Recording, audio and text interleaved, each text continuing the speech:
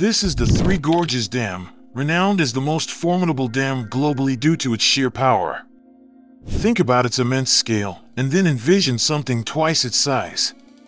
Remarkably, it is not China, America, Japan, or Australia planning such a colossal endeavor. The nation spearheading this groundbreaking initiative, aiming to construct a megadam capable of energizing nearly half a continent, is none other than the Democratic Republic of the Congo. If this project realizes, Africa will be home to the newest, most powerful mega dam in the world, breaking all current records. In today's video, we will delve into Africa's upcoming $80 billion mega dam and discuss all the fascinating details about it. Don't forget to click on that subscribe button and like this video as it's the best way to support this channel. In terms of geographical expanse, the Democratic Republic of Congo or DRC stands as the second largest country in Africa.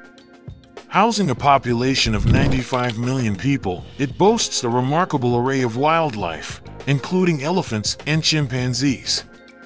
The Democratic Republic of the Congo is occasionally confused with its neighbor, the Republic of the Congo. Despite this, both nations share commonalities. French is the official language in both, and Christianity stands as the predominant religion.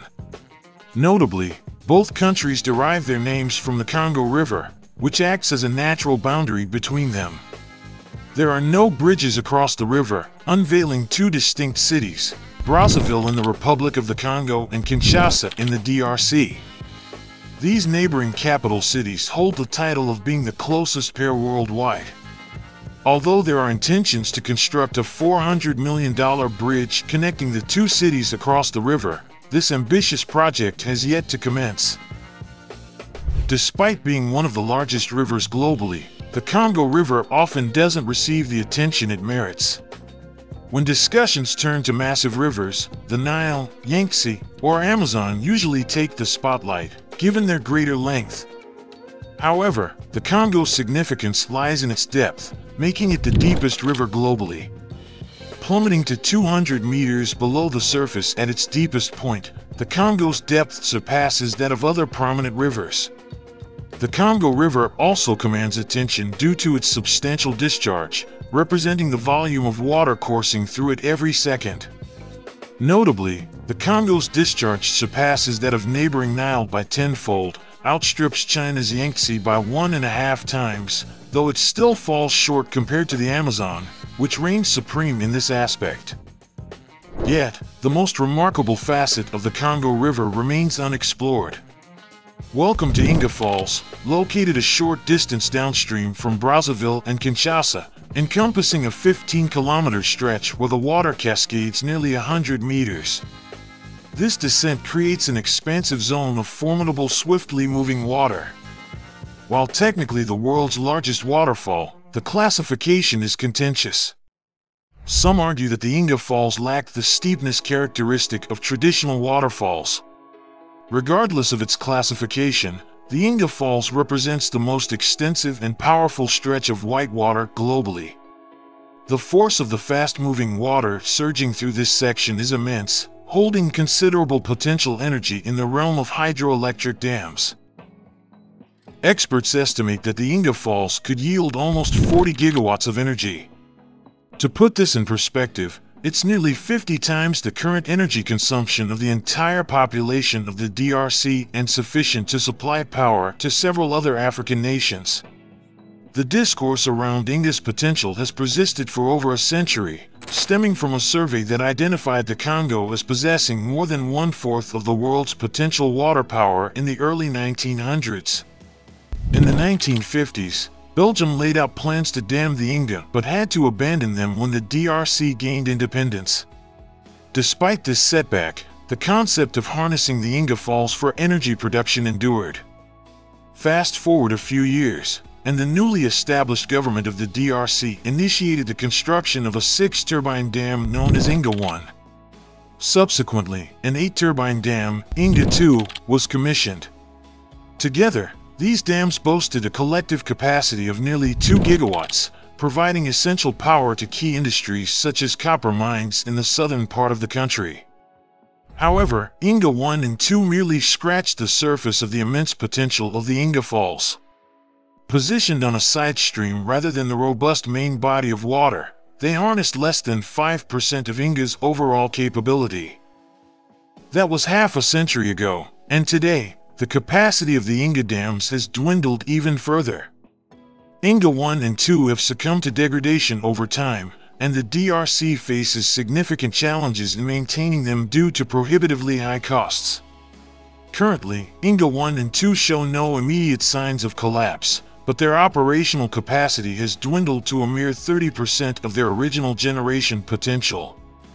In recent years, Various plans have been proposed to revitalize these dams, with commitments from some international companies. Additionally, there's a proposition to construct a third dam, Inga 3, with the potential to generate an additional 4.5 gigawatts. However, these initiatives pale in comparison to the groundbreaking proposal the government has in store for the Congo River, the Grand Inga Dam. The Inga Falls possess the capability to generate 40 gigawatts of energy, over 20 times the current combined capacity of Inga 1 and 2. The Grand Inga Dam represents an ambitious plan to harness every drop of this immense potential. The envisioned plan unfolds as follows.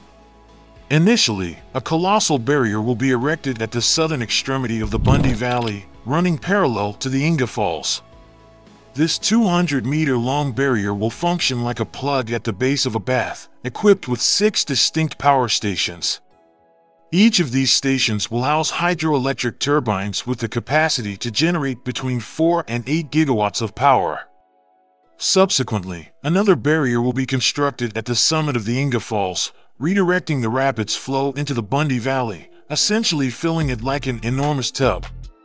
As the water reaches the southern wall of the valley, Gravity will propel it through the turbines of the six power plants, collectively generating a staggering 40 gigawatts of power. While redirecting rivers into artificial reservoirs for power generation has been done several times before, the Grand Inga stands out due to its unprecedented size. Surpassing the Three Gorges Dam, which currently holds the title as the most powerful dam globally, the Grand Inga would generate more than twice the amount of power. The transformative impact of the Grand Inga Dam on the African continent could be profound, particularly in addressing the issue of nearly 50% of the population lacking access to electricity. However, the staggering construction costs associated with such a colossal dam are estimated to be around $80 billion, surpassing the DRC's annual GDP by a significant margin. This prompts a crucial question can the DRC financially undertake this monumental project independently? The answer is likely negative, considering the country's challenges in maintaining the existing Inga dams, let alone embarking on the construction of a project as extensive as the Grand Inga. Nevertheless, the feasibility of the project gains traction when considering the potential for foreign investment. As highlighted earlier, the Grand Inga could serve as a source of electrical energy for various regions in Africa. Several countries, including South Africa and Nigeria, have already expressed official interest in contributing funds for a share of the power generated by the Grand Inga, making the realization of the project more plausible with international support. There's a proposition that individual foreign investors could fund each of the dam's six power plants in exchange for ownership of the respective facility. Notably, prominent financial institutions such as the World Bank, the European Investment Bank, and the African Development Bank have expressed their willingness to contribute funds to the project. Additionally, the support of the African Union, which aims to foster cooperation among African nations, has been garnered by the DRC. Despite these collaborative efforts, there are no certainties. Even if these partnerships manage to secure the required $80 billion, there's still the looming uncertainty that it may not suffice to complete the dam. Historically, many dams have exceeded their initial cost projections, with some even doubling in expenses. This potential scenario implies that the Grand Inga Dam might end up costing closer to $160 billion, highlighting the financial complexities and uncertainties associated with such massive infrastructure projects. Beyond financial concerns, There are other significant issues to address, such as the relocation of over 30,000 local villagers residing in the Bundi Valley. The construction of the dam is also poised to have severe environmental repercussions, posing a threat to crucial local species, including vulnerable populations of bonobos. This prompts a complex ethical dilemma. Even if the DRC manages to secure the funds for the dam, is it ethically justifiable to proceed with its construction? The ethical considerations involve weighing the displacement of local communities and environmental damage against the potential to provide a sustainable and green energy source to millions of people in Africa. Balancing these competing priorities requires careful deliberation and consideration of the broader societal and ecological impacts. What are your thoughts on the construction of the Grand Inga Dam? Leave a reply in the comments section below. Thanks for watching and see you in the next video.